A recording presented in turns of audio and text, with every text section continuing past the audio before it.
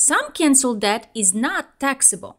Debt discharged in Title 11 bankruptcy, including Chapter 7 and 13, canceled debt on qualified farms and real business property, forgiven debt on qualified principal residence during specific periods, debt canceled due to insolvency, and additionally, certain students' loan discharges after December 31st, 2020 and before January 1st, 2026 are also not taxable.